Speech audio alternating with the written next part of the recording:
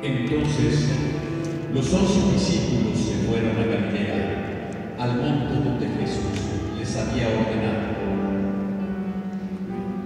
Llegó Jesús y les dijo, Toda potestad me es dada en el cielo y en la tierra. Por lo tanto, vayan y enseñen la palabra a todos. Bautícenlos en el nombre del Padre, del Hijo del Espíritu Santo. Enséñenles que hagan tantos de las cosas que les he mandado. Y he aquí yo estoy con ustedes todos los días hasta el fin del mundo. Habiendo dicho esto, ante su presencia fue a la ciudad. Y una nube lo recibió y lo desapareció ante sus